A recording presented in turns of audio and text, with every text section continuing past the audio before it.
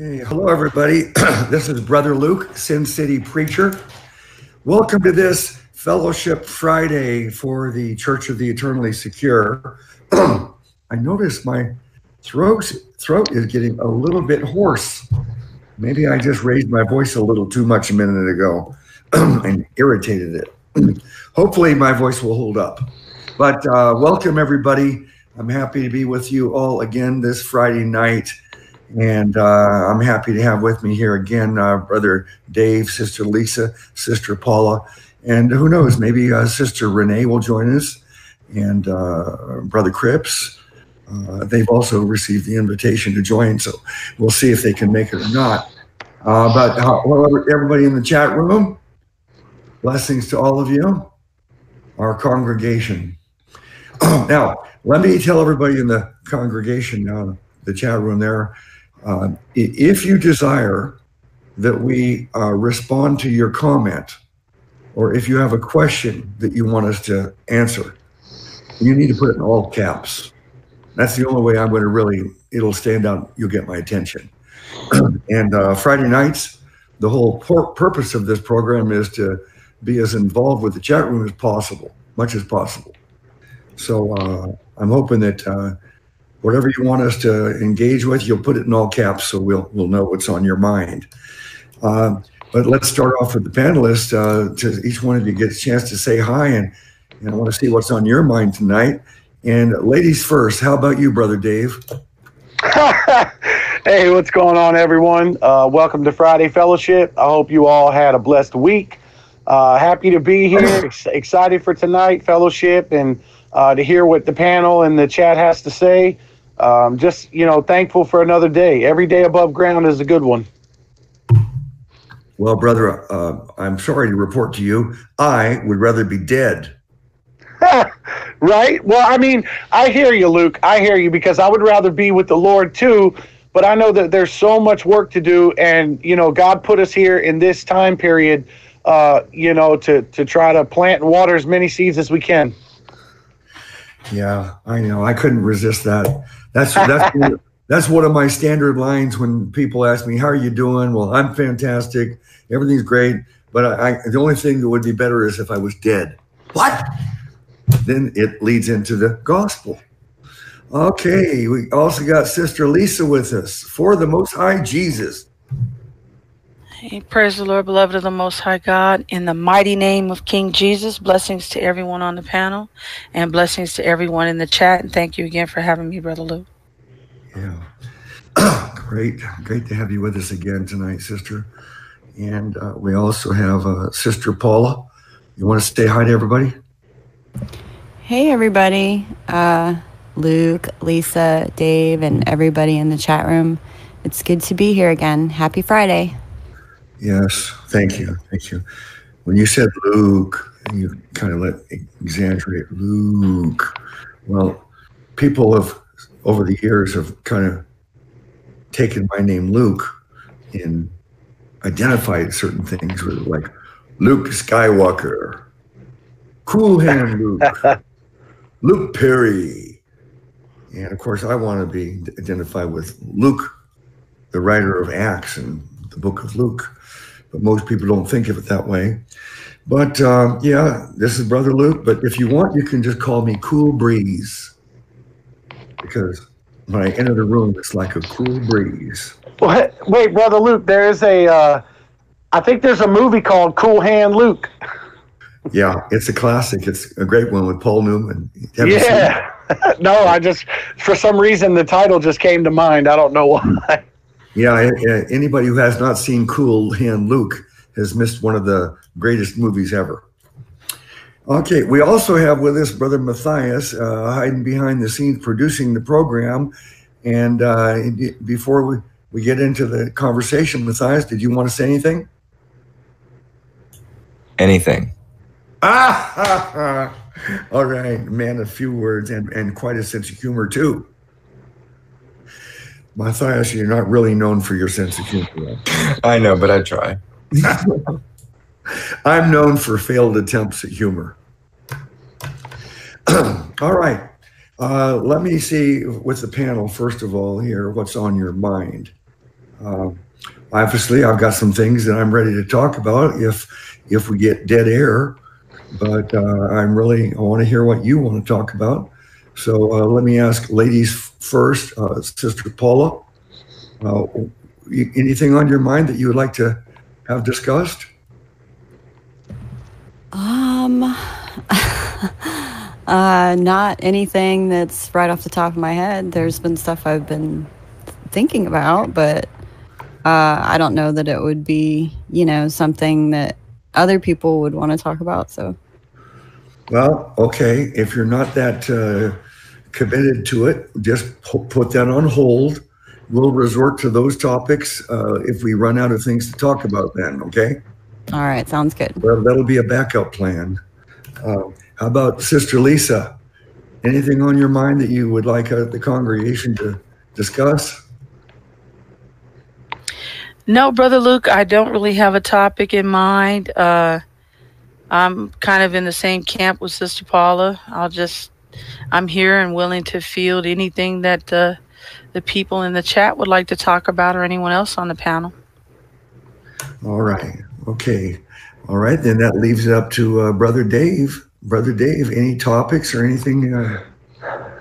I'm open tonight, Brother Luke. Um, whatever's on your guys' mind, uh, you know, whatever the chat is is uh, dealing with this week, um, I'm open for anything tonight.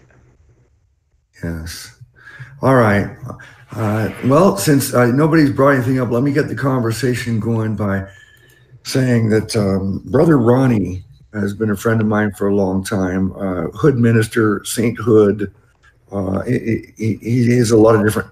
He's changed the name of his channel numerous times, uh, but he identifies as a Hood because you know he was uh, one of these uh, biker gang guys for a long time, and uh, but of course now he's a saint, and he, he's one of the most articulate um, saints I know with the, with the written word.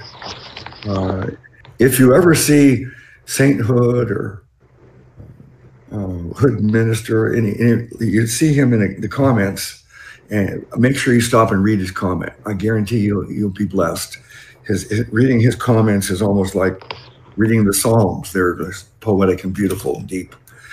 Um, but he coined a phrase uh, years ago and I've been repeating it, and I've been encouraging everybody else to repeat it as a slogan.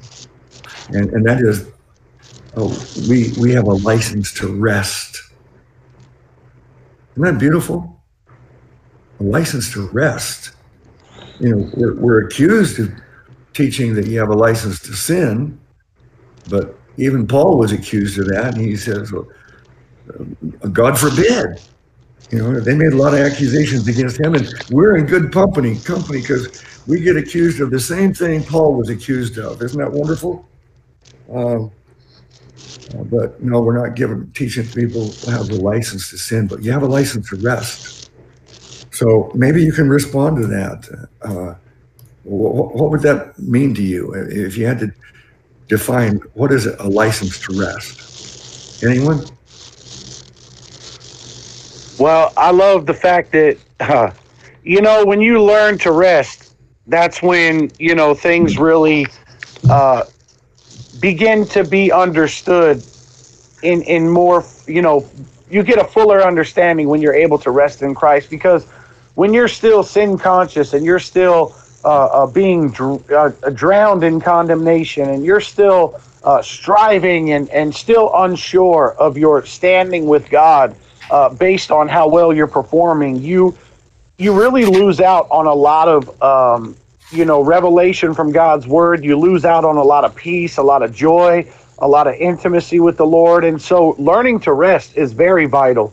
Uh, learning to know who you are by faith in Christ, uh, and, and and learning about God's grace and how you know there's it's hard to explain because once the transition takes place, and and you come out of that fear and that bondage and that sense of duty and that and you know that that dread in, in walking with the Lord is and you know you come to learn how to rest and then you find peace and joy and fulfillment and relationship and it's just like night and day. It's almost like a you know the the light switch goes off or it comes on and the dark turns to light and it's you know it's so amazing but it's really hard to put into words. So until i learned about the rest you know it was just uh it was tough. I found it for many, many of us, I think many of the true believers, they still find it uh, difficult to rest. Uh, uh, matter of fact, maybe you can tell me the verse I have in mind, something about we struggle to rest, we we wrestle to rest, or something like that. What is it? How? What's that word? What's that scripture that I'm thinking of? well i know the one that says we now have entered into his rest No, but I'm talking about the verse that seems to be an oxymoron, two two conflicting things, like we're we're working at resting, something like that. oh Labor, labor to enter Well, into labor, the yeah. Rest. But how's it go again? Labor to enter into the rest, something Yeah. like that. Okay. Yeah. That's in Hebrew. Yeah. Well, what does that mean? The labor. I, I, to me, I, I think that's the case for many of the, the brethren and what I call the sistren. We're, we have to labor because we're, for some reason, we have a hard time resting naturally. So we have to make an effort. And even Paul says, labor to enter his rest. So it must not be natural or easy just to rest and, and just give it all to Jesus. Not only just initially to get our salvation, but after we're saved, to just rest and, and let Him handle everything for us. Yeah, um, Brother Luke, that's Hebrews 4 3. Uh, For we which have believed do enter into rest. As he said, I have sworn in my wrath, if they shall enter into my rest, although the works are finished from the foundation of the world. Hebrew 4 is 5. And then again in this place, again, if the, he's talking about entering into his rest, and it says, the one who has entered into his rest has ceased from their own labor. That's in Hebrews chapter 4. If they want to see it in context.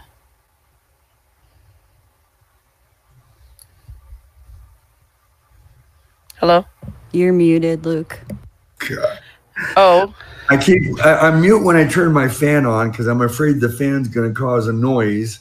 So I forget to turn the microphone back on. Hey, brother Walker. Hallelujah. Arlo Walker is here, brother. Uh, you need to answer your phone. I've called you a half dozen times and left messages. I've been praying and worried about you. So please, I'm just so happy to see you here. At least I know you're still uh, with us. You know what I mean? And uh, I'm glad you're with us tonight here in the congregation. But let's let's talk on the phone if if your phone's still working.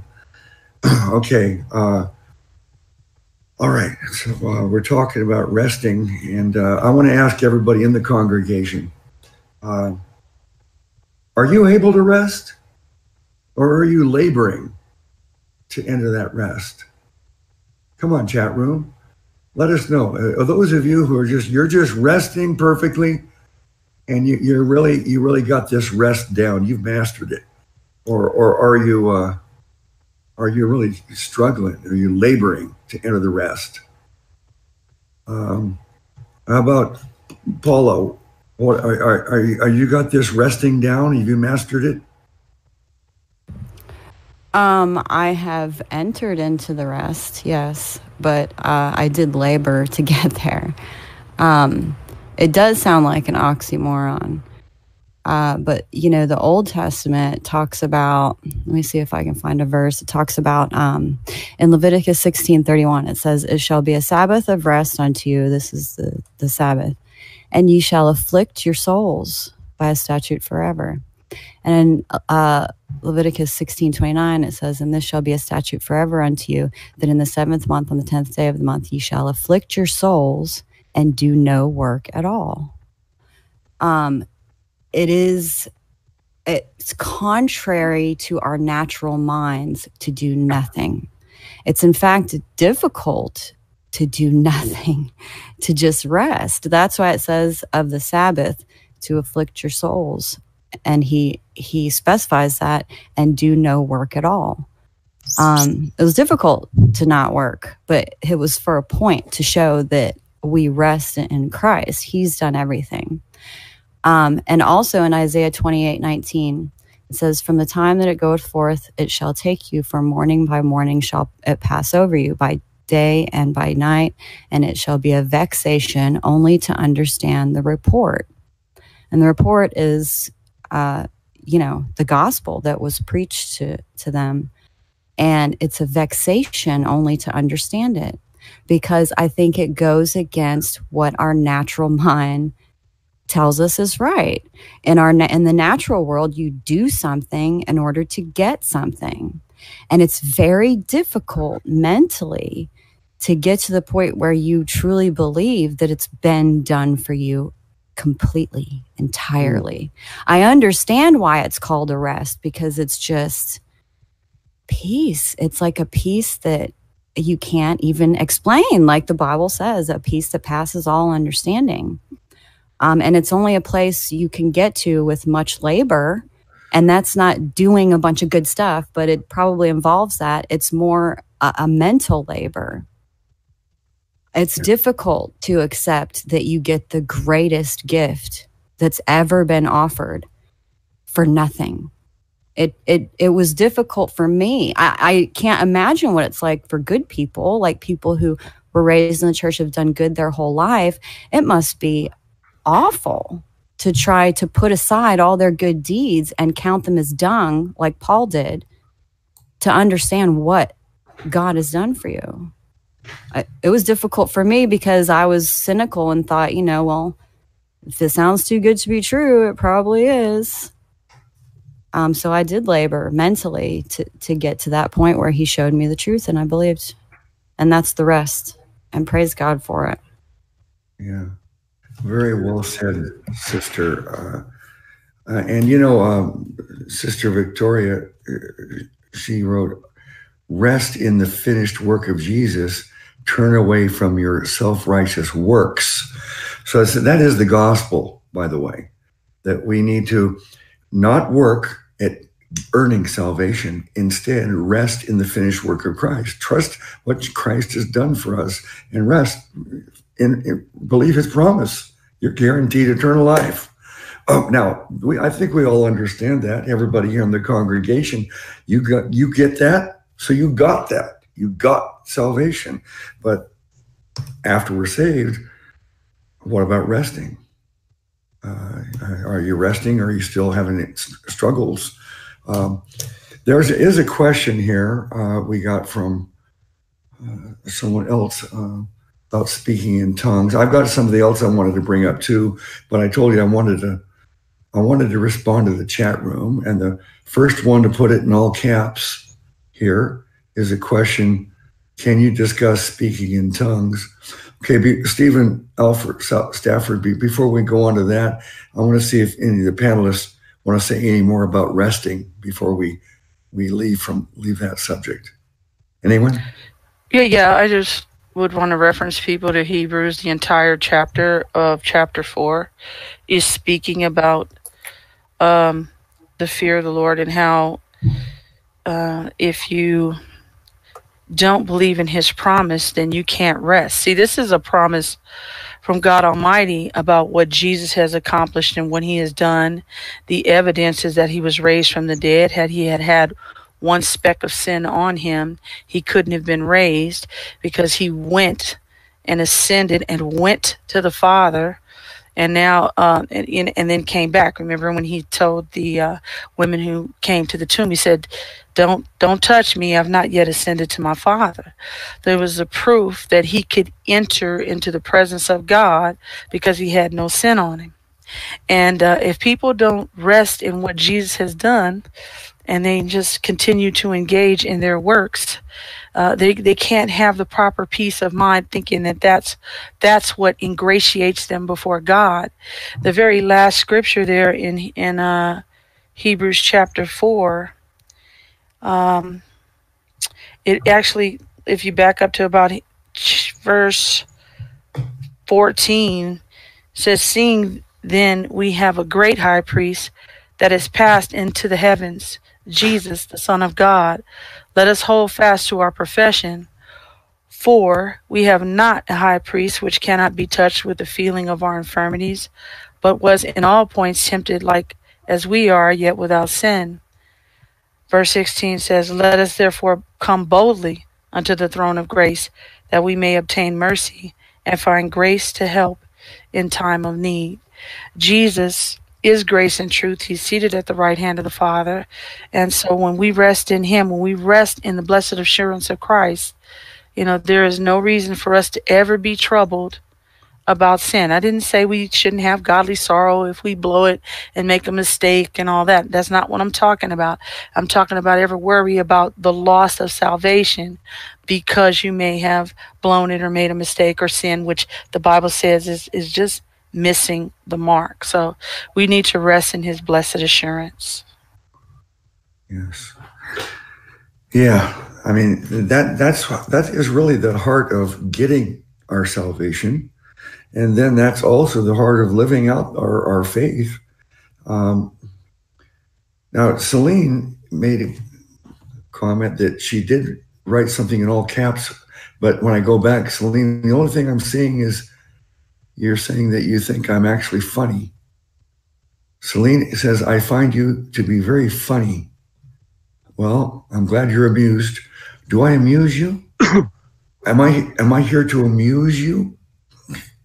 That's from Goodfellas, by the way, in case that's another attempt at humor that, you know, was lost on everyone. Uh, okay. Um, anything else on that before we go to this uh, subject? Uh, uh he's asking us to talk about the subject of speaking in tongues. Um, does anybody here on the panel speak in tongues? Even, okay. Uh, I do. Oh, okay. All right. Well, do you want to talk about it at all? You feel uh, like you're gonna, get, you're gonna get me in trouble, brother Luke. Well, uh, you're not going to be in trouble, but but I'm just if you don't want to talk about it, you don't have to. But no, I don't. I don't have a problem talking about it. It'd probably be better suited if people were asking specific questions about it. I mean, it's a general uh, subject. We can refer to the scripture and what yeah, Paul his, said uh, about it. See, let me see his. Uh, the specific question is really quite non-specific the way you wrote it let me see maybe you could elaborate further if you want to know more exactly about uh, about that but let me find the question again where is it why am i having such a hard time finding uh, the all caps again wow i don't see it maybe he removed it maybe i just but he just asked if we can discuss speaking in tongues. I think that's all, all, all that was asked. So, uh, all right, um, I'll give you my thoughts on it unless uh, you want to. Um, Lisa, you're you're the only one that actually uh, does speak in tongues. So, uh, and Victoria says I have the gift of tongues. Victoria, if you want to comment anything, say anything about it, we want to hear what you have to say. But Lisa, if you want to tell us, go ahead. Well, um, the Bible refers to it as our our heavenly tongue, our heavenly prayer language, and I do speak uh, in tongues in prayer, um, in intercessory prayer, um, mostly for uh, you know the saints of God. I pray in the Spirit for people as the Lord lays them on my heart. Um, just some quick scripture references to people who may want to glean some more information, you can look at 1 Corinthians 12 10, uh, where it talks about the, the uh, gifts of the Spirit concerning tongues. Uh, 1 Corinthians 14 5, where Paul talks about, I would that ye spake in tongues, but rather that she prophesy. Um, 1 Corinthians 4 14 18, I thank my God that I speak with tongues more than ye all. Um, Acts in, in the second chapter where it, it talks about when the Holy Spirit came and uh, how they began to speak with tongues. So, I mean, like I said, w- without answering a specific question, just showing that it that it is in the Bible, it is in the New Covenant. I do believe it's for any saint of God that will request it of the Lord. I believe He'll He'll give it to them if they desire it. Um, I know people that, uh, like at certain churches where they'll teach tarrying for it, but that's not really, not really um, biblical per se.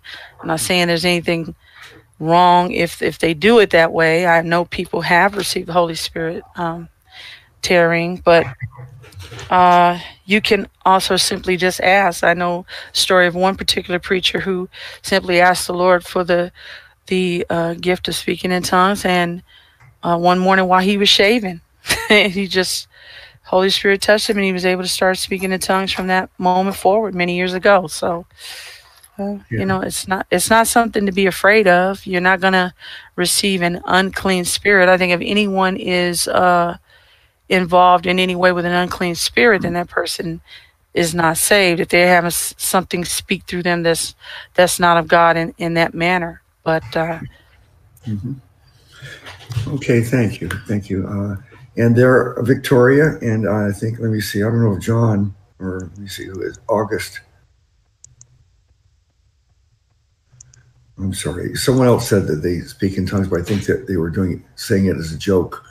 Uh, but uh, so if you do speak in tongues in the chat room, put it in all caps so I can find it and and identify uh, who who is uh, speaking in tongues. But um, my uh, I, I don't speak in tongues. I've tried. I, many years ago, I was in a small church that was Pentecostal, and uh, they spoke in tongues, and they told me to pray for it and to get this gift of tongues. And I, I even tried speaking in tongues, but I, I came to the conclusion that I was fabricating it. That it wasn't really from God for me. However, uh, what about Lisa? What about Victoria? What about all my other friends who do speak in tongues? Uh, I, I'm not challenging the validity of that. I'm just saying, for me, I don't speak in tongues. But the, here's my my my concern on this subject, though, is the the group of people who um, the Pentecostal uh, usually is the ones that that do do this. They they say if you don't speak in tongues, it's proof that you know, don't have the Holy Spirit and you didn't get saved. So when when you um, it's it's like um, it's the same thing about if you don't have this big changes in your life as proof of salvation, you didn't get saved. That kind of a thing is is uh, uh, false uh, doctrine, false gospel, and to and try to impose that uh, on on others uh, is um, that's where I would object. That and the same thing like with KJV onlyism. I was KJV only for 25 years. Now I'm KJV first or KJV preferred. Uh, I like looking at other translations uh, too, but um, I believe the KJVs and tr- trust the KJV. And I, but I believe if someone else wants to be KJV only, good for you. What I'll object to though is if the KJV onlyist wants to impose it on the rest of us. And uh, Lisa's not imposing tongues on us. Victoria is not. And uh, but uh, I would not feel comfortable either, you know, challenging them on, on it. I, I have no doubt about their sincerity. Um, let me see, uh, Paula, what do you say? Do you know anything about this subject? Um, I know very little. All I know about the whole speaking in tongues is anything I've read in the Bible. Um, I know when I have seen video footage of some Pentecostal churches, it seems weird and strange. Um, I do know that the Bible talks about this idea of speaking in tongues. There's a good chunk of Corinthians in there that talks about it. So I know it is a thing. Um, I don't think it's a whole lot of language that's not understood. There is some kind of, I guess, angelic language that the Bible speaks of, but from what from my understanding and reading about the tongues, it's mostly talking about um, someone standing up and speaking in a language that's not their native language, and then also another person standing up and interpreting that, and these people not that that wasn't their original their original language so they wouldn't have known it as it's like a miracle or something. And that's what i've that's how i read it in the bible. I've never seen that before. Um i don't want tongues i've never asked for it um i think it would freak me out a little bit i don't really see the benefit of it but i know that there is some sort of uh something. It's it says something about benefit benefiting somebody or somehow, maybe just the person. So I don't know that it's supposed to be on display for everyone to see, especially if there's no understanding that comes from it for the people that are listening. I don't know. Matthias might want to talk about it because he he was the one I was talking to about how it's portrayed in the Bible about the different languages if he's listening. Yeah, okay. We'll let Matthias talk about it if he wants. But uh, let me say, I know I've heard Renee talk about this, and she had some interesting ideas. But uh, I, I believe that there are. Uh, uh, I might I might be wrong. Renee thinks there's one type of tongues, uh, but I, I think the Bible uh, uh, indicates there are two types of tongues. Uh, when Peter gave his first sermon, and people were speaking, and everybody understood them in their own language. Um, uh, that was one type where uh, there was no interpreter needed. It was, and it was, it was actually a, a language, a known language that people spoke. They understood it in that language. In other words, I'm speaking English, but let's say the entire audience right now, everybody listening to me, you didn't hear me in English. You heard me in your your language. I think that's what happened uh, at that time. Then there's other times speaking in tongues where it seems to be, uh, I think Paul called it ecstatic utterances, if I'm remembering it right. And, and it seems to be um, maybe a, a spiritual language that is, is really not a known language. Um, and, uh, uh, and then Paul has a protocol, a, a- clearly defined protocol that has to be followed because there's it was causing confusion in the church. So he said, if you're going to do this among others, you have to make sure only one person's doing it at a time and that there's always an interpreter someone who has the gift of interpreting otherwise there's no value in it but from what i am seeing today among our uh, brethren is that those people who tell me they are speaking in tongues it seems to be a private thing uh, of prayer is, is how it's being used uh, dave what do you say Uh, I was hoping you didn't call on me, but it's all right because we're all brethren and it's not a salvation issue. So um, I'll be glad to share my opinion on uh, the tongues thing. Um, from my study, um, I also, like you, Luke, uh, I came up in a Pentecostal church and I believed that I had received the gift of tongues. I can. I can do that all day long like everyone else, but me, um, I kind of just it's a for me it's a learned behavior. It benefits nothing. It's absolutely pointless. And as I studied the scripture, uh, when Paul talks about praying in the spirit, he makes a very clear, um, um, you know, analogy in the same verse in First Corinthians 14 I think it's verse 15. He says, If I pray in the spirit, I pray also with the understanding. So when I used to sit in my room and and do that all night long, I had no understanding. And eventually I felt in my spirit, God just told me to cut it out. And so I just left it alone. And, you know, I don't knock anybody who believes they have the gift of tongues. I just personally believe that it's uh, exactly what the Bible described, and it's the supernatural ability to speak in another language that you don't normally speak so that God's word can be passed along. And I think that it was given to the apostles uh, so they can spread God's word throughout the different nations, tribes, and, and people. And uh, I don't find any evidence in the Bible for an angelic tongue. I see Paul speaking in like a uh, hyperbole when he says, even if I were to speak in the tongues of angels, he's saying, if I have love, it's nothing. I think that's more of like a metaphorical hyperbole. But I mean, that's just me. And again, there's people that truly believe they have tongues, and I don't knock them for it. And the only thing that I say is if you have tongues and it's a private prayer language for you, just do it between you and God. I don't I don't want to see it out in public because I'm going to look at you like you're crazy because I don't know what you're saying.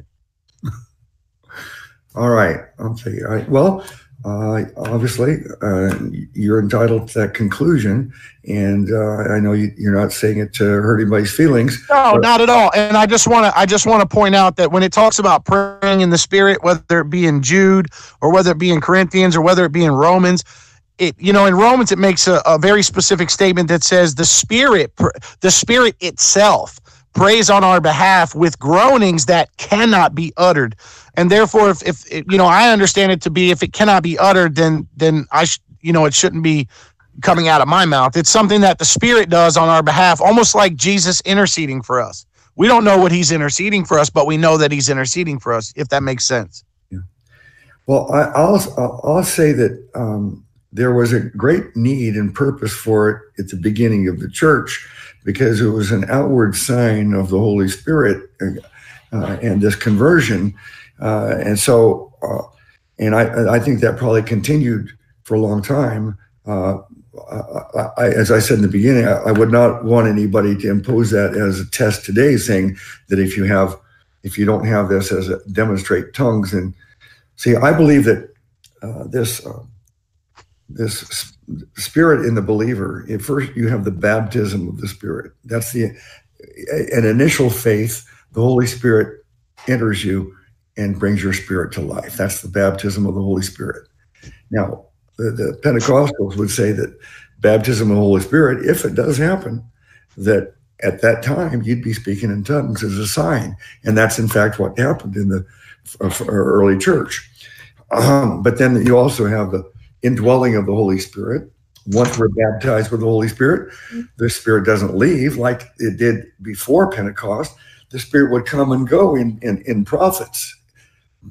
Jesus even breathed into his disciples the Holy Spirit to give them power to do miracles, but they were not sealed with it until Pentecost. So, uh, but we we have the baptism of the Spirit. We have the permanent indwelling or sealed. We're sealed with the Holy Spirit, and then we have the grieving of the Spirit and quenching of the Spirit. All of these are all things that have to do with the Holy Spirit in us.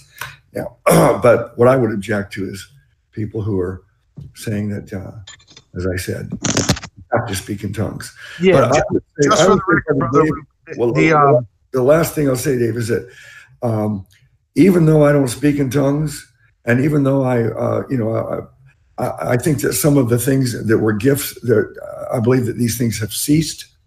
They didn't cease entirely, apparently, because we have brethren, and sistren, who are doing some of these things, uh, speaking in tongues and maybe other gifts that, but uh, they're. Uh, how would I explain it? I mean, I'm not, I don't believe that Lisa and Victoria and other people we, we know that they're deluded. No, I'm just saying for me personally, for me yeah. personally, I, I don't, that's what I'm saying. If a brother or sister believes they have a, a, prayer language or they have it, that's cool. You know what I mean? And, and I don't have any problem with that whatsoever. That's what they, uh, you know, utilize or exercise. That's fine. I'm just saying for me, like you personally, for me, it just wasn't something for me. And I, I did it for many years and I wholeheartedly believed I had the gift of tongues. And I just, I felt in my spirit after a lot of study that God just told me to cut it out and that it, you know, it wasn't for me. Yeah. All right. Uh, Paula, you said that Matthias might want to talk about it. it Matthias, you listening? Yeah, he, he just, he was just right here and he just heard you call on him. So he ran back to the back room. He should be there about now. Oh, okay. When he gets back, then he can let me know. Uh, just a little bit out of breath, maybe, but. oh, okay. Um, so, yeah, uh, from what I from what I heard, um, what I see in Scripture on First Corinthians fourteen, that there is some sort of prayer language, and I know saints that were people that I considered to uh, to be believers by their confession that tell me that they have experienced such prayer.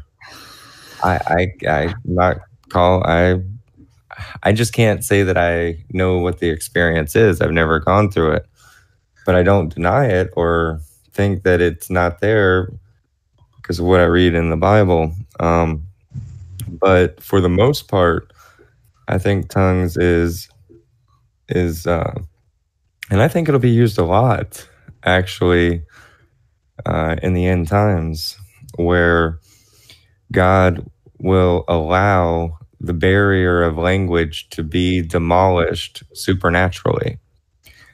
And so uh, I have heard of different examples where, you know, um, the, the person starts speaking Chinese. They've never spoken Chinese. and they're just preaching the gospel, but Chinese words are coming out of their mouth, and everyone at the table doesn't even they don't speak Chinese except for one person. Uh, but the whole supernatural experience um, is to help bring clarity. So you have somebody who doesn't speak a language, let's say Chinese, and uh, they start speaking it, and everyone around they don't understand it. And then there's another miracle where somebody else will stand up and God will give them the interpretation so that the person giving the interpretation, like what we see in scripture, actually brings more clarity to the situation because now the person who it was directed towards, i.e., Chinese, they're understanding because it's in their native language. But now, because there's another miracle that's happening, not just the person speaking in tongues, but the person translating, another miracle from God brings more clarity and total clarity of of what's going on in that particular uh, circumstance. So I've heard of examples where that has actually happened in this day and age um, from godly men that I I trust and believe. So I see that being more as the what we see in Acts, the type of uh, tongues that was speaking spoken, where everybody um, uh, but it, there is a little bit of difference because um, I, I think that there's three types of of tongues. There's the one that we're talking about, the prayer language. Then there's one where the person speaking actually speaks the different language. But then what we see in Acts is I think that the prayer, the tongues happened in the ear uh, because they name the 17 different languages and say we all we hear them in our native tongue. So I think the that the miracle can happen either from the point of somebody speaking or in the hearer in the ears of the hearers um, changing the language at that point.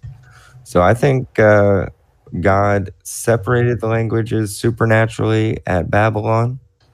And I think then and now, he, with his mighty power, can break such barriers.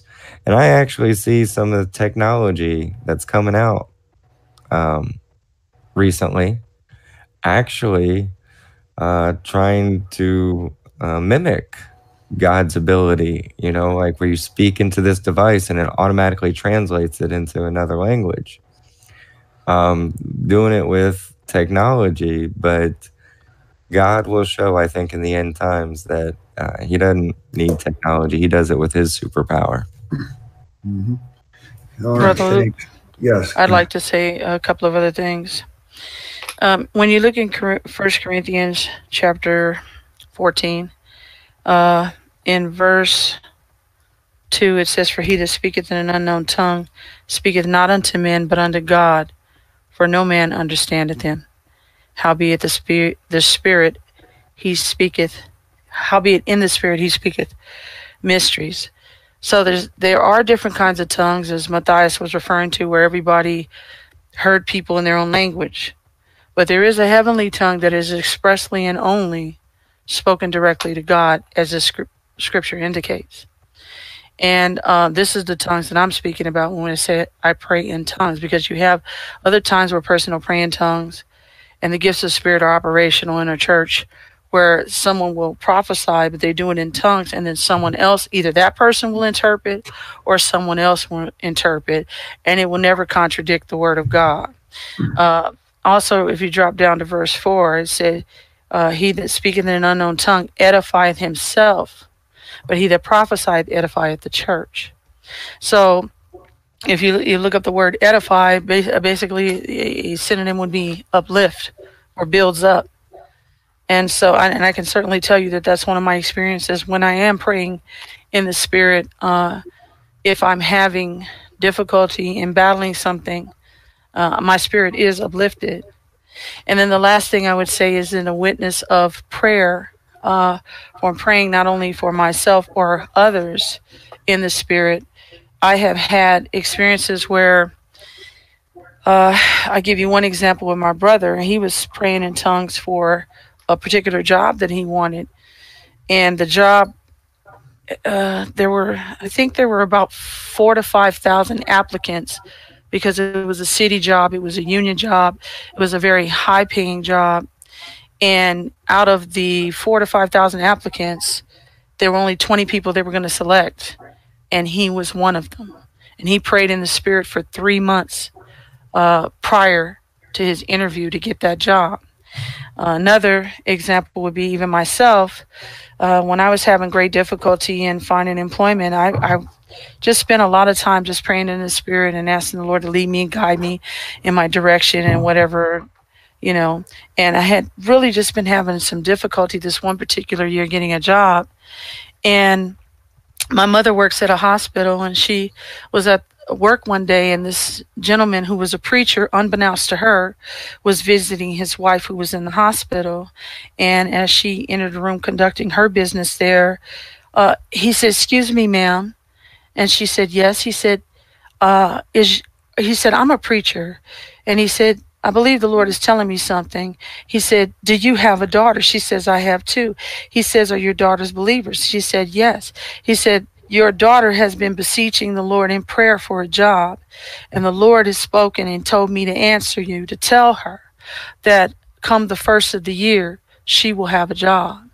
And it was February 2nd, I got employed uh, with a very good job. So, and this was just a couple of years ago. So, you know, people who say it's not for today, all I can tell you is is I can show you example after example after example like that from just praying in the spirit, not in my understanding. So. Well, sister, I, I want you to pray for me in the spirit. I'd love to have you pray for me. So. I already no no no kidding aside, brother Luke. I already do, and for all the other saints of God here that get under attack here on YouTube from the various various spiritual entities and witches that will come after them, uh, like Sister Renee and others who have been attacked heavily. So, you guys, when I say I'm praying for you, that's exactly what I'm doing. Mm-hmm. No doubt, no doubt. And I and I got mad respect for anybody who you know operates in those gifts in the biblical way.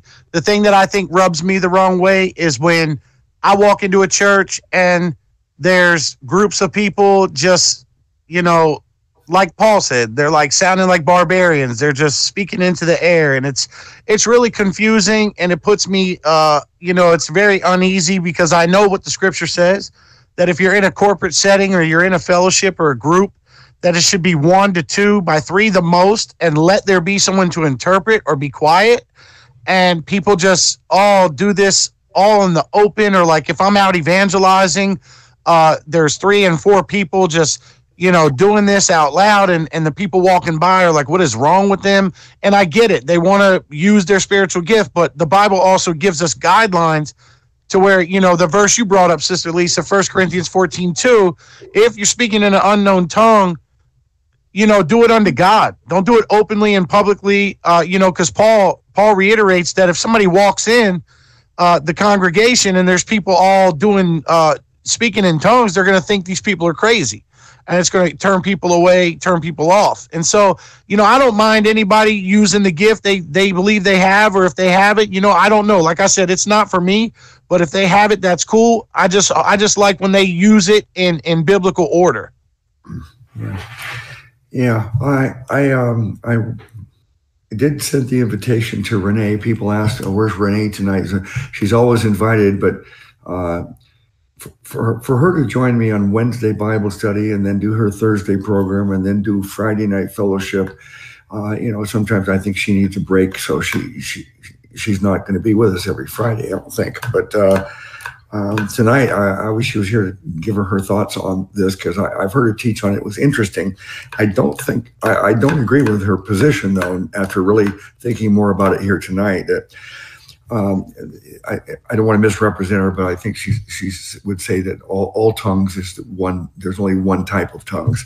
Um, so next time she's around, we'll have her explain it. But uh, I think that uh, when I look at uh, what happened at Pentecost, um, they they they started speaking in tongues. Let's call that the ecstatic utterances. Okay, it wasn't a question of interpreting and edification. It was just something that happened that that showed that there's something is happening to us, and it was the Holy Spirit was baptized them, and then the same thing. If you look at what when Peter went to Cornelius. Um, that's what showed him that they they were believers just like him. Uh, and, and, then when he was challenged by James in Acts 11, that uh, uh, why did he even go into a Gentile's house? I mean, are you, you crazy? You can't associate with Gentiles. And you ate with Gentiles? What? You're saying and they're and, and you gave him the gospel and preached to him? And, and Peter, of course, said, Well, I'm going to do what God tells me to not what man tells me to do. But and he says, and they responded the same way we did. I, I, someone can, if you can find the exact verse, be, would, that would be great. But uh, he's saying, and they same thing happened to them. They no, they believed on the Lord just as we did, and that's why the saying, "What must I do to be saved?"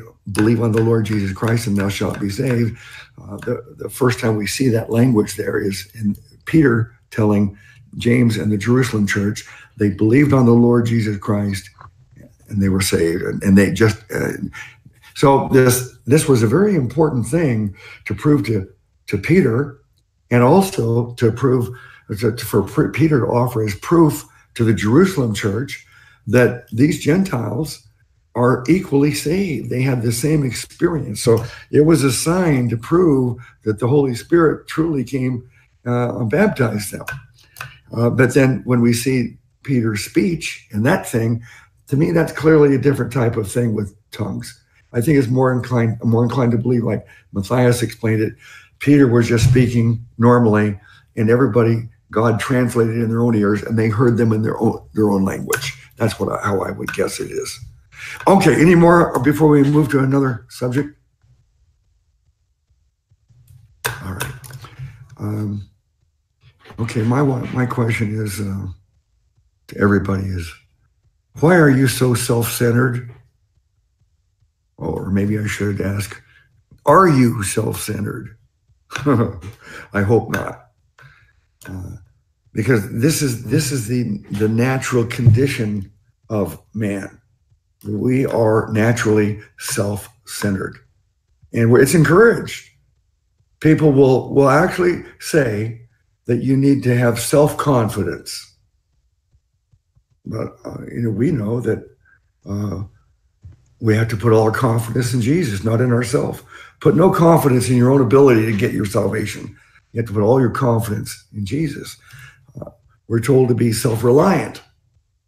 That's a good quality right? We teach our children to grow up to be self-reliant, but um, Bible says that we we need to rely on Jesus. That's what it is to rest. Is we're okay. We gave it all to Jesus. We're relying on Him to not only handle our salvation, but handle all our needs. Um, and then there's uh, self-esteem. What what do you call self-esteem? Uh, you know that's self-righteousness, isn't it? That's not a that's not a quality. That's pride. Oh, Angel Martin is here. Hi, Angel. Um, uh, self-esteem, but no, all esteem is reserved for our Savior Jesus. And uh, what else is there? Self, self, uh, self, self-centered. Yeah, people who are thinking about self instead of being focusing on Jesus. See, there's the problem. It's all about self. Um, well, enough preaching. Um, anybody have any feedback on on on this? I, I think the key to understanding salvation and getting getting salvation and then living uh, the Christian life is getting out of self. Or am I making? Amen. Uh, we must decrease so that He can increase. Uh, putting no confidence in the flesh. Uh, yeah, it's it's opposite. Like Paula, Sister Paula was saying in the beginning, how it's very hard to come to believe and receive this free gift because in and of ourselves, we desire to deserve it, earn it, be proud of it, and uh, you know, work. We're always taught to work hard and, and earn and deserve and, and be the best. And, you know, receiving God's gift is completely opposite. And the same with, uh, you know, dying to self or, or learning to depend and lean on Christ. Um, you know, the world tells you to be self sufficient, self motivated, self powerful, you know, love yourself, self, it's all self centered. And it's tough, even as a Christian, because, you know, to empty ourselves of ourselves and to you know lean on God and and trust on the Lord. And you know for me it's an ever it's an ever ongoing process. And uh, you know I make progress and then I I you know regress a little bit and then I make some more progress. But I, I find that um you know just learning to decrease so that he can increase it uh it goes a long way but it's difficult it's not easy to do Mm-hmm. Um, I'd like to add something to that, if I may. All right. He made me think of something I've been trying to teach my 12 year old.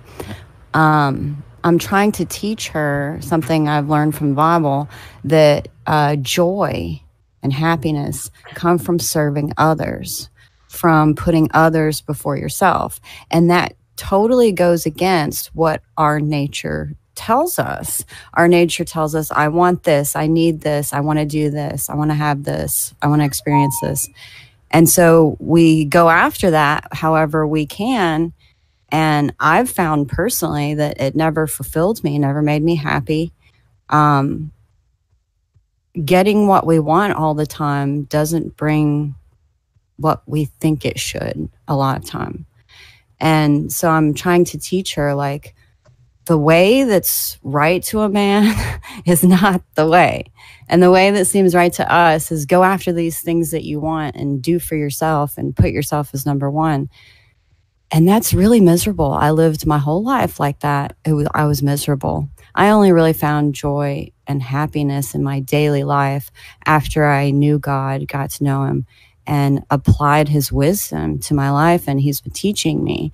Um, so, what the world tells you is the exact opposite of what God will tell you.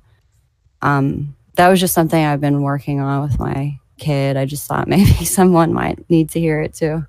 Wow. Okay, look here. Let me see. Can you see? Let me see if I can find here. Put my finger there. Okay, you see my finger? Is that showing up? Uh, yeah, I see it. See, you see where it says joy? Yes, J O Y. Yeah. Are you are are you cheating? Are you somehow get access to my notes?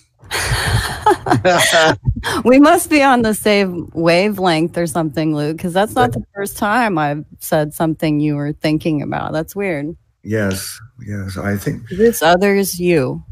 Yeah, yeah, yeah, That that was here. The next, I was going to lead right into that point, and you, matter of fact, you did that. Remember when I, I a couple of Fridays ago, I mentioned something about.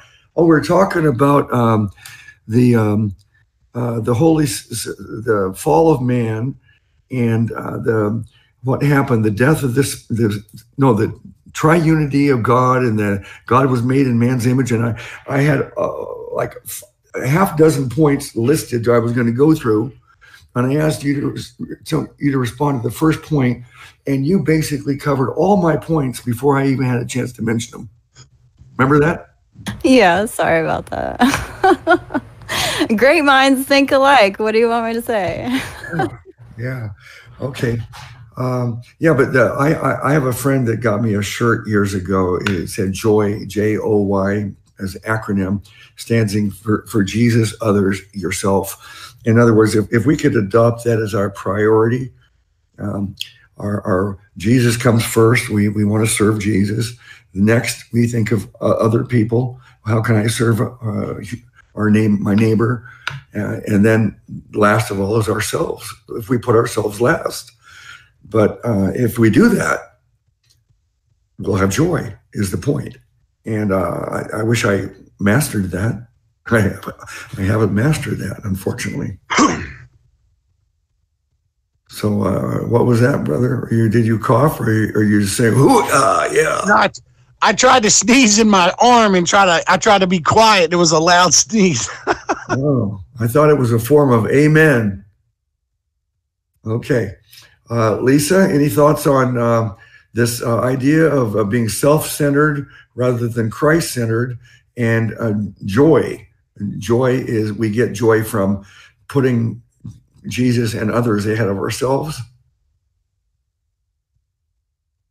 Uh, I'm sorry, brother Luke. I was responding to someone in the chat. Could you re- reiterate that one more time? Yeah, yeah. The, the points were that uh, um, we we are naturally self-centered. We need to learn to be Christ-centered, and if you, we want to have joy, we we will get joy by having Jesus our priority, then other people, and placing ourselves last.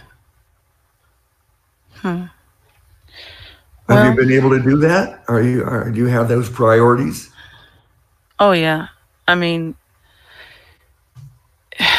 there. I, I've just been going through so much of late, personally in my life, um, and that's what it always brings me back to. You, I mean, I don't know too many believers. I mean, I'm sure there are. Depends on where they are in their walk with Christ, most assuredly. But you, you'll be brought out of narcissism quite quick, quickly if you are indeed a believer and you are, I would say, abandoning or attempting to abandon as much carnality as possible to draw closer to the Lord. Uh, because the, the, the more things you go through in trials, you have to submit yourself to God and seek Him. So He He becomes first and foremost whenever you're dealing with something, your focus becomes entirely upon Him for your deliverance, for your sustenance, for uh, your edification, for everything. So, yes, I'd have to say absolutely. hmm What about you, Dave? Have you have you been able to uh, uh, make your life uh, focused around Jesus and not uh, yourself? And and uh, what about putting others uh, before yourself? Can you do that?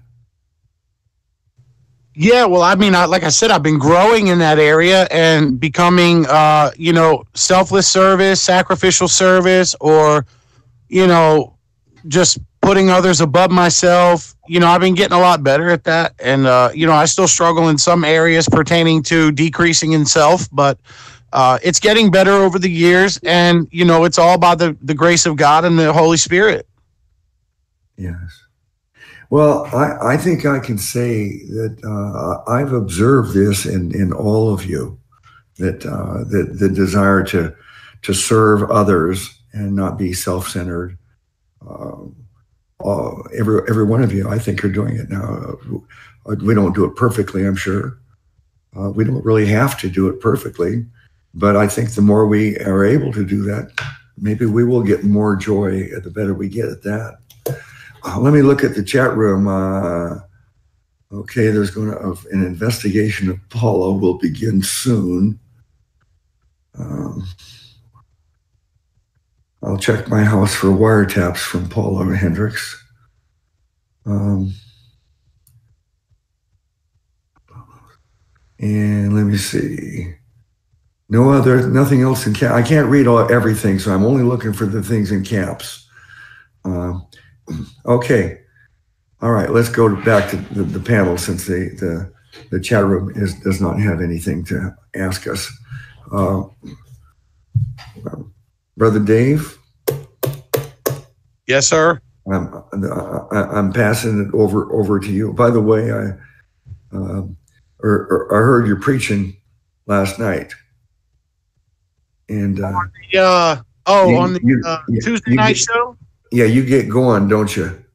Yeah, I do. And sometimes, you know, I I write my little notes down and and I try to follow the notes and then, you know, something ends up happening and I look back down at my notes and it just all goes fuzzy and so I just get to rolling and and that's it. Mhm.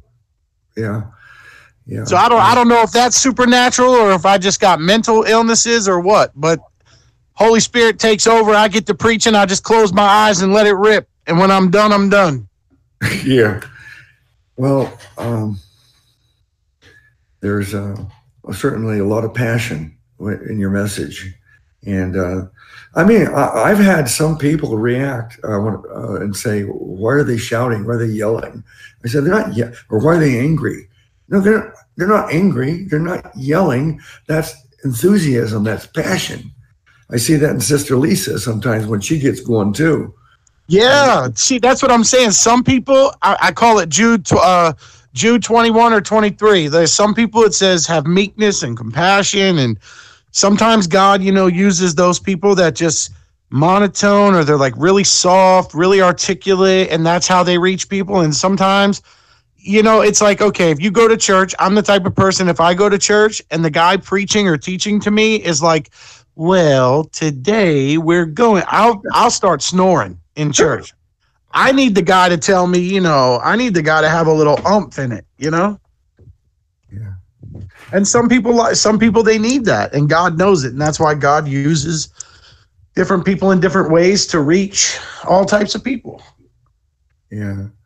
So Richard asked, does anyone troll the internet and make fun of atheists or is it just me?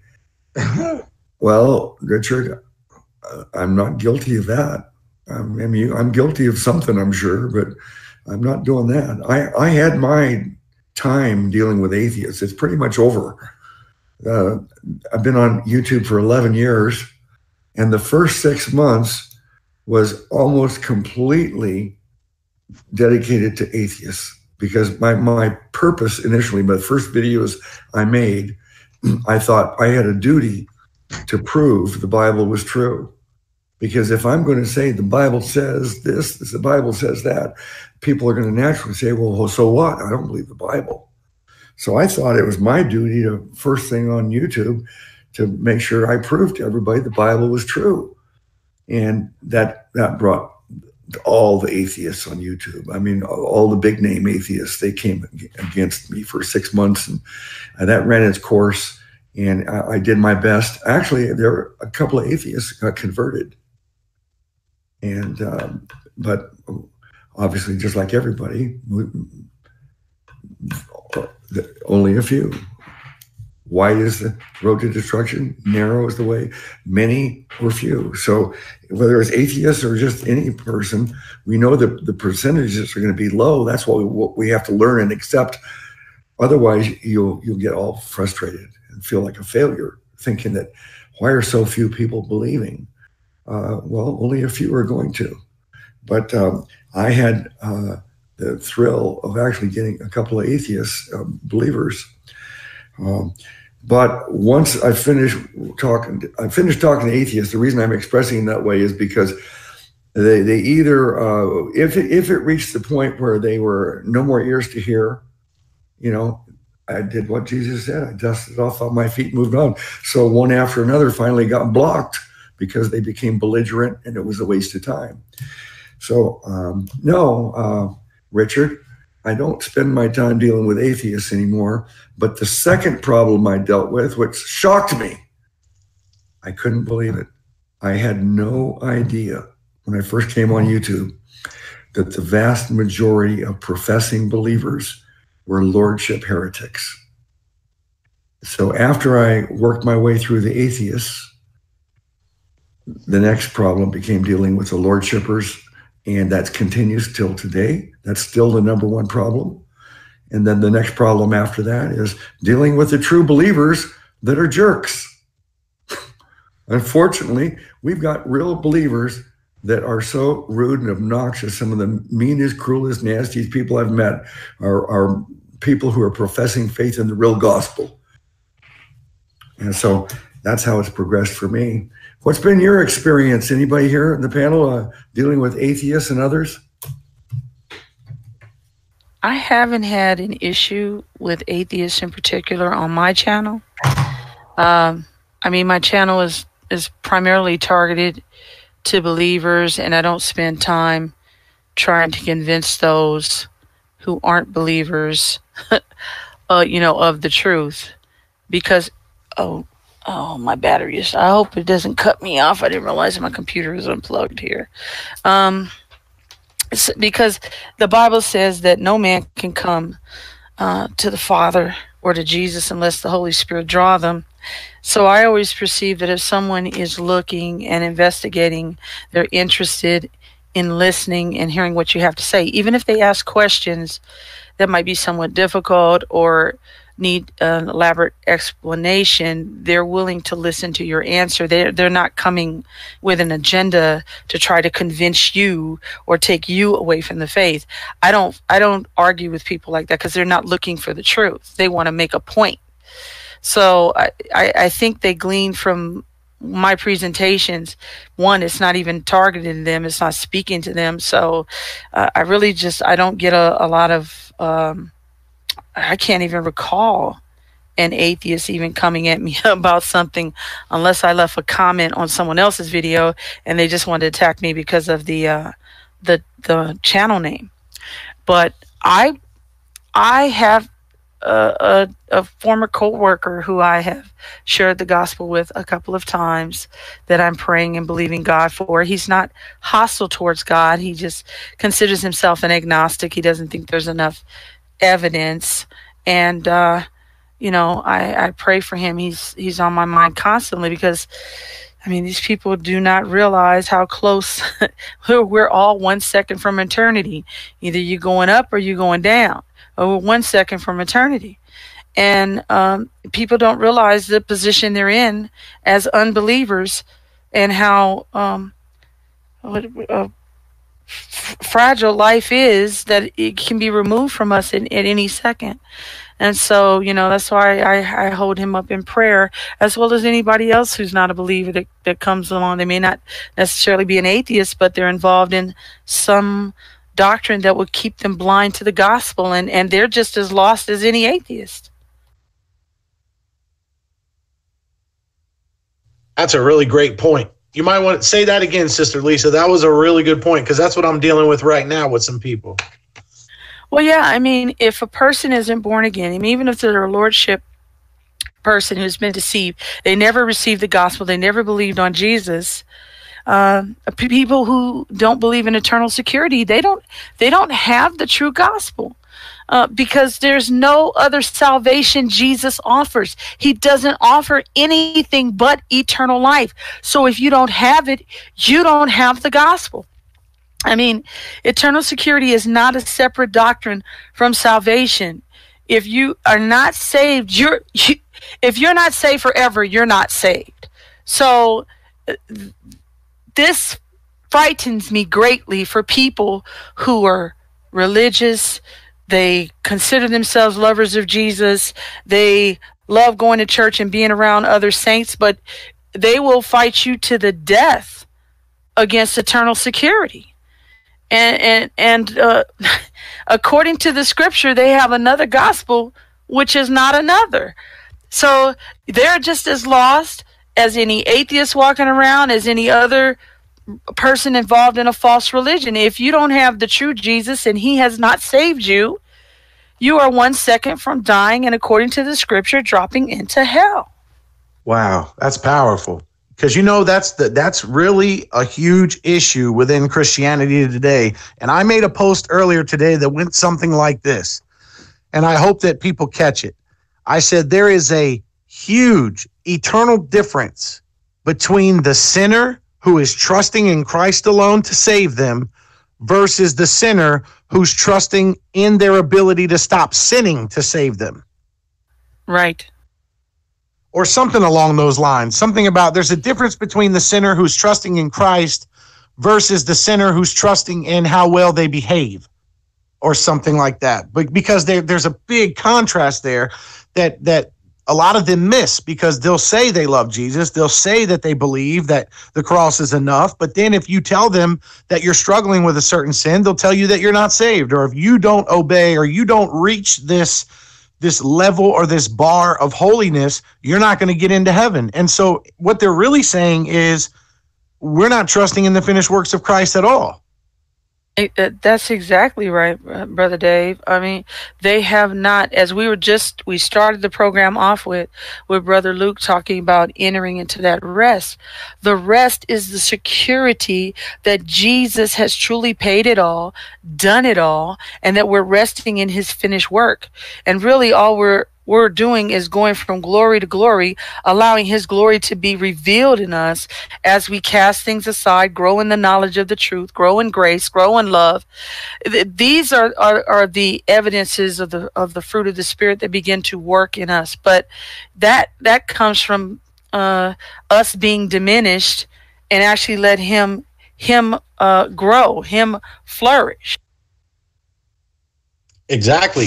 And that's the problem is that people have to get to that point where that light bulb has to go off. The scales have to come off. They have to they have to get to that point where, you know, whether it be through the strength of the law that knocks them down or whether it be through the their own imperfections, they've got to get to that place where they have no hope other than to be trusting on Christ alone. Yeah, that's why I always refer to us throwing ourselves upon Christ with the attitude of reckless abandon, like a little child.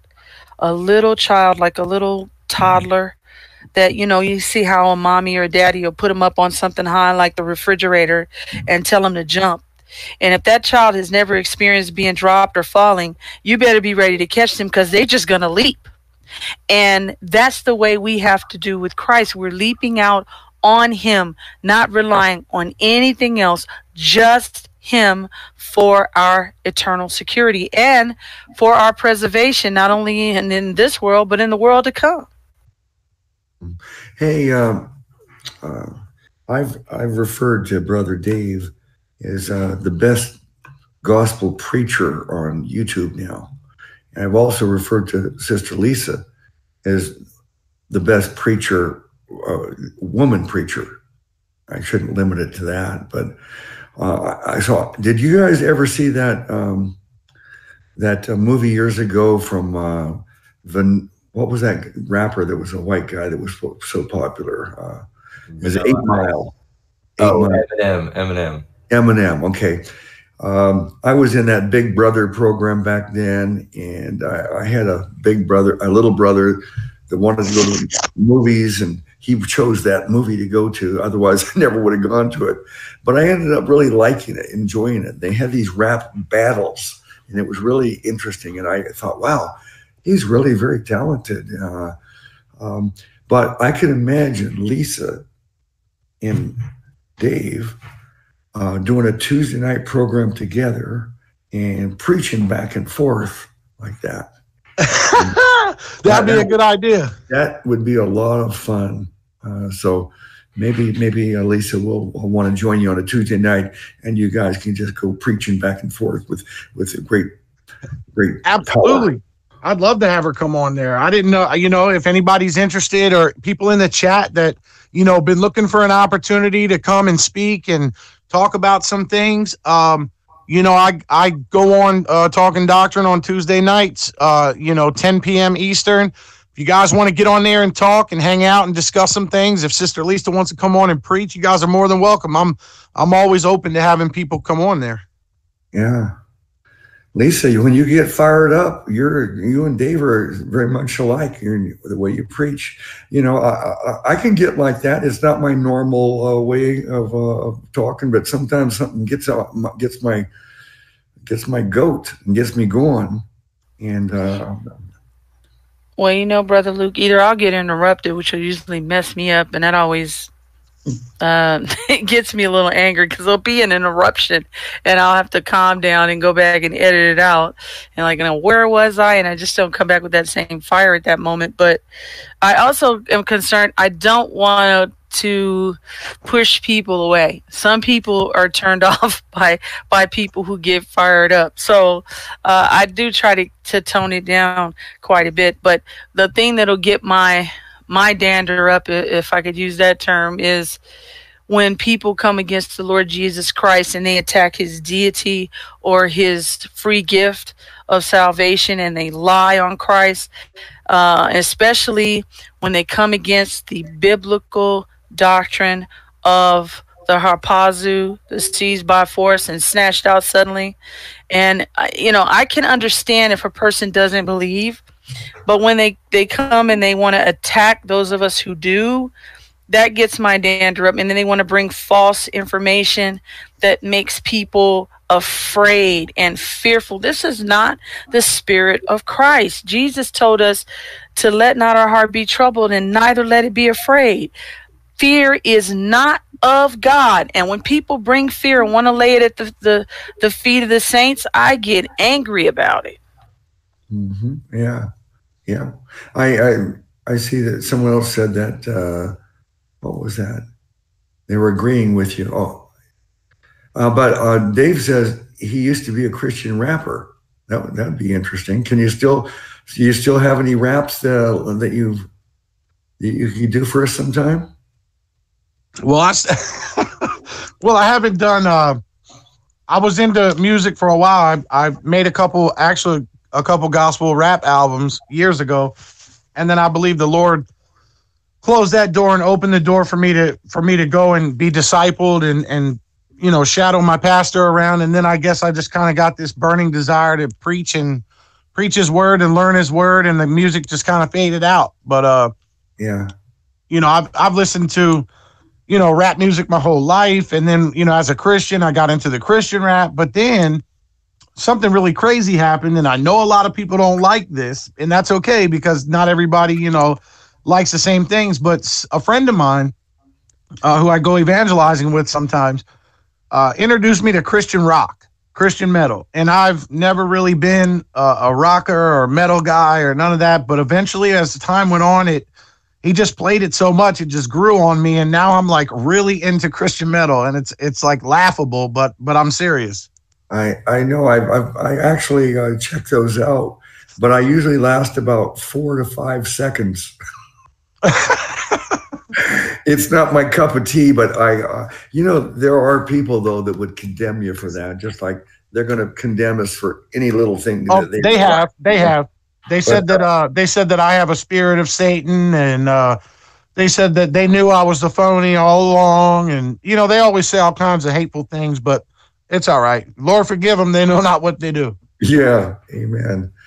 Um, but you know, I, I think that there's just as Paul said, he he became all things to all people to win some for Christ, and there are there's a place for that, all that to to reach those people, the people that are in that arena. Someone needs to enter that arena in, in order to get the message to them. Uh, okay, we're uh, we're approaching uh, uh 11 p.m. in the east, so it's time to start uh, finishing up here. Um, if you have anything in the chat room you want us to address quickly before we finish, put put it in all caps right now. Um, otherwise, we're going to just give our, our final thoughts here. Uh, let, let, let's start off with Brother Dave. Yeah, well, tonight, um, tonight we brought up, you know, a really hot subject, and uh, you know, I appreciate everybody's view on it. I just want to say for the record, you're still you're my brother and sister in Christ, whether we agree or disagree on this matter. And I don't mind. I don't have an issue with anybody using their spiritual gifts. The only thing that, that gets to me is if they if they're not using them in the order of scripture, like it's very confusing, it's very unnecessary. And I just, you know, I find it to be a hindrance, especially to people who are who are new and don't understand. And then you know, not not the brothers and sisters that operate accordingly to scripture. That that's all good but there are people that are that are rising up in Christianity that are making the claims, like you said earlier. If you don't, you know, if you don't, you know, use if you don't have this type of spiritual gift, you're not really saved. Or if you weren't baptized this specific way, you're not really saved. Or if you, you know, didn't do it this way with this formula and you didn't learn from from this denomination, you're not saved. And you know, that's a that's a really uh, uh what do you call it? Like a hot button for me. When i when i hear that stuff being said man i get riled up. But you know all love and respect to my brothers and sisters that use the gifts and and and you know do it according to the scripture. And i'm all good with that. Yeah.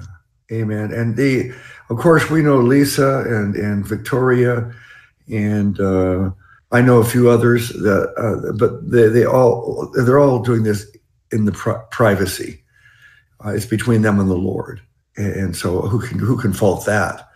Uh, okay, let's go with uh, Sister Lisa next. Would you give us a summary? Oh yeah, sure. Um, yeah, I can understand what Brother Dave is saying. I mean, I, I get it. I do. Uh, some people do, as I said before, they only place people will act silly, this silly sometimes, is in church. Uh, I have seen absolute buffoonery as well. But as I also point out, um, just because you see a counterfeit, it does not invalidate the genuine article. In the same way, if someone announced on the news tonight, it's Friday night, mostly everybody got paid, and maybe you stopped and went to the bank and got yourself some money. If they announced that there was a rash of counterfeit $100 bills that are so good even banks are handing them out, I guarantee nobody would just run and throw their money away just because there's a rash of counterfeit $100 bills and you had some. You would you would make sure that yours aren't counterfeit. You wouldn't just throw them away. And it's the same thing just because you see people do things that are foolish, silly, uh, and maybe not decent or in order doesn't invalidate the genuine article. Right. Uh, and brother Dave, I'm not saying you're saying that. I'm just saying that so people don't get the wrong idea. Um, we have to be careful to hold fast to that which is good. Okay, we prove all things and we hold fast to that which is good. The, the the other thing is just to admonish the saints of God to remember that uh, hey, no, not no one. I don't care who they are. I don't care how long they've been a preacher. And there's some really great preachers out there. No one has the the lock on this thing. The Bible says we all see through a glass darkly right now, but then face to face. Okay, so we're all doing the best we can in Christ, and we should show that consideration and kindness and love to one another always. I, as I said before, when I do get passionate, I, I liken it unto I take an example from Christ. His most uh, passionate criticism was against the Sadducees and the Pharisees. It was always against the religious. He never directed that towards sinners. So uh, that that's the I try to have the same heart as as he had. It is our Father's will that none should perish, and we should preach the gospel. As that we are literally trying to snatch these precious people, precious children from the fire. Because we, we, we have we might have ideas against someone who's an adult because people have been embittered in life and and and they may not be the nicest person and they may not be uh, sweet and lovable and kind and they're very easy to just say forget you and and go on to something else. But if we look at them as dear children as a child that was in jeopardy of being just demolished wouldn't we all act and that's that's how the, the, the lord has been dealing with me these last few weeks and months to look at everyone as children that need to be rescued from danger. And I relinquish the mic. And blessings to everyone in the chat. Blessings to everyone in the panel in Jesus' name. Amen. Sister Paula, what say ye? Um, well, I enjoyed the discussion. I think the way that you have this set up is great because, um, you know, it sort of allows the Holy Spirit to move through someone to bring up something that, you know, would be beneficial for others to hear. So I think it's great. Um, I don't know about much about the speaking in tongues, so sorry I couldn't, you know, add more to that. But uh, I think what Lisa just said was a really important thing to remember. Um, just because it's unusual for me, if I was to see something like that, there is biblical precedent for it. And so just because some uh, use it for other purposes, maybe, and, you know, doesn't mean doesn't negate the idea of it because it is clearly in scripture and there's a lot of things I don't understand, um, you know, in scripture, but there's a lot of different gifts that we all have.